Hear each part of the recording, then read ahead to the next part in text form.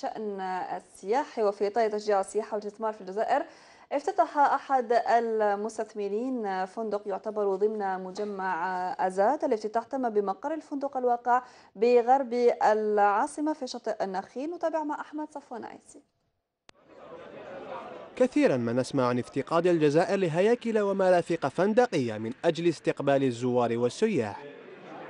عزيز مستثمر صاحب مجمع أزاد افتتح فندق أزاد بشاطئ النخيل بسيدي فرج غربي العاصمة L'avantage déjà, euh, on veut vraiment dire une qualité de service euh, exceptionnelle pour euh, l'ouverture du troisième hôtel de Azad Hotel.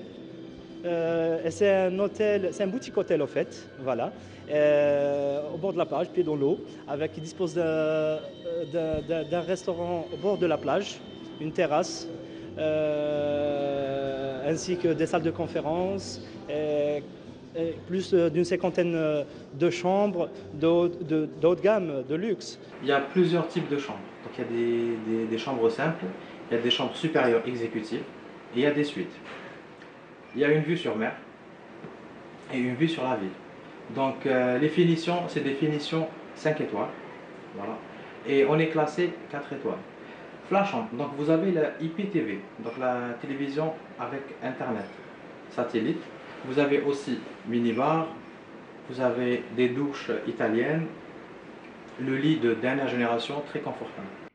فندق باستطاعته أن يقدم خدمات راقية ومن شأنه تقديم الإضافة للسياحة الجزائرية ويستقطب العديد من السياح جميل جدا. الستاف الموظفين كتير لذيذين. المحل كتير حلو بيطل على البحر.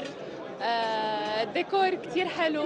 كتير طيب بس فندق أزاد يعني سبق الأكل اللبناني صار أفضل منه. ديكور رائع جدا سيرفيس رائع جدا بروفيشنال جدا. سيرفيس وستاف أول ما تجوا دائما فيكم تعرفوا أنتم من وحده بخبركم الأوتيل عن كل شيء موجود فيه. نوعيه دايفرسيتي رائعة. مثل هكذا مبادرات من قبل المستثمرين المحليين تعطي دفعا إضافيا للسياحة بالجزائر أمام عجز الفنادق العمومية عن تقديم خدمات في مستوى التطلعات.